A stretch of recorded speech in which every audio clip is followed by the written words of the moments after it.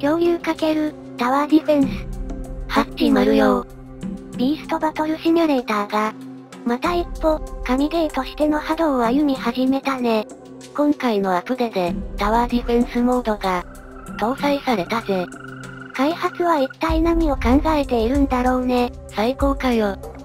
では早速見ていくよ。ここでルールを説明しておくよ。タワーディフェンスとは、リアルタイムストラテジーの一種で、襲ってくる敵をいろんな手段で防ぎ、自分のタワーを守りきるゲームだぜ。このゲームでは襲ってくる恐竜たちを、自分の恐竜で防いでいくよ。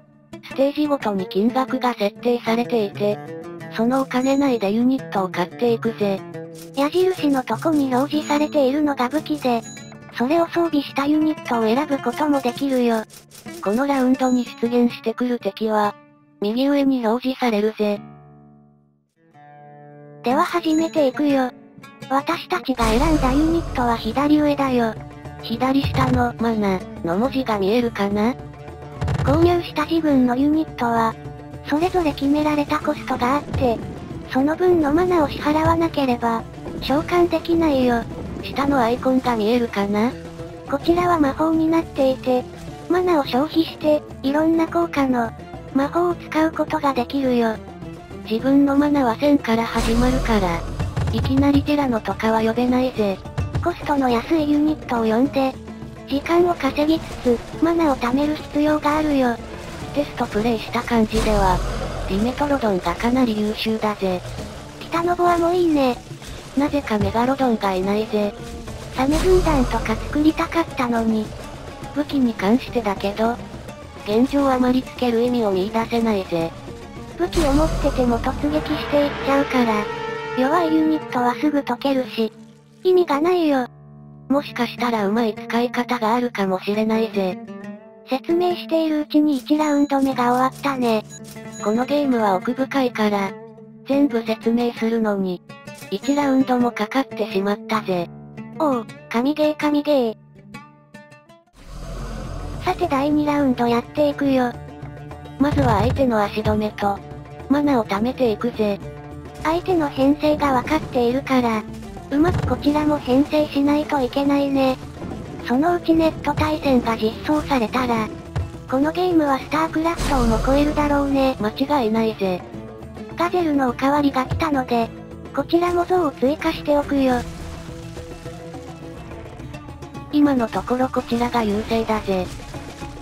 戦況は刻一刻と変わっていくから、油断せずにおこう。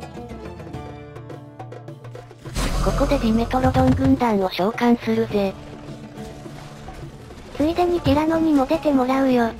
あとは何かあったら、魔法でサポートしていくぜ。この時間で魔法の効果を説明していくよ。左から行くね。範囲内の敵をスタンさせる効果。範囲内の味方を回復。範囲内のユニットに火の継続ダメージ。敵一体にダメージ。範囲内の敵に吹雪の継続ダメージ。範囲内のユニットに隕石で大ダメージ。今使ったのは吹雪だぜ。味方ユニット全滅だよ。慌てる必要はないぜ。恐竜はどうして絶滅したのか。答えは隕石だね。早くも第3ラウンド。ダチョウに対してハイエナを送るよ。追加でゴリラも招集だぜ。横一列に配置すると、固まった敵の突進で、簡単に突破されてしまうね。隊列の重要性も学べるいいゲームだぜ。ディメトロドンに対して、こちらもディメトロドンで応戦だ。ついでに吹雪の魔法で、サポートしておくぜ。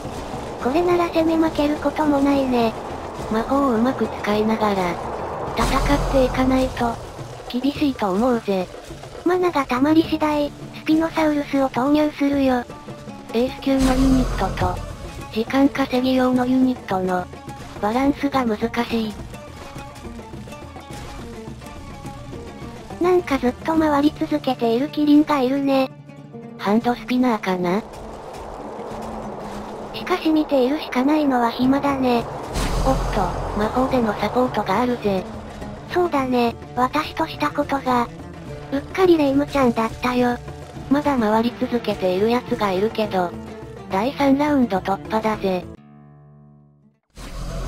最終ラウンドやっていくよ。ゾウに対しては、北のボアを繰り出していくぜ。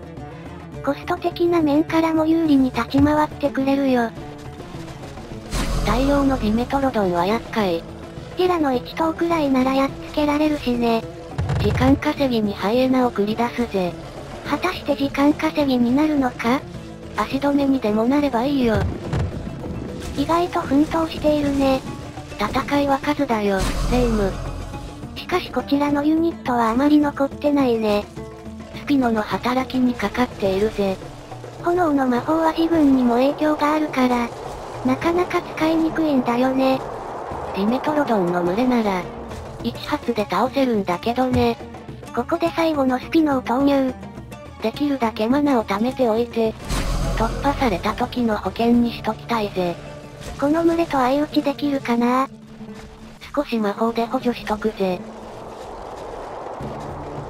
スピノはサッカーでもそうだったけど、動きがガバガバだね。ここでラピュタのイカズチを使うよ。外してんじゃないぜ。まさかうまくかわされるとは。当たれば1発だぜ。やったー、勝ったよ。超本格タワーディフェンス、としてもやっていけそうだぜ。おそらく将来的に、世界大会が開かれることになるだろうね。スチームで早期アクセス中。みんなぜひ買ってくれよな。ご視聴ありがとうございました。気に入っていただけましたら、チャンネル登録、高評価お願いします。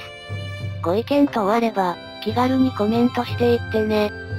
では、次回まで、ゆっくりしていってね。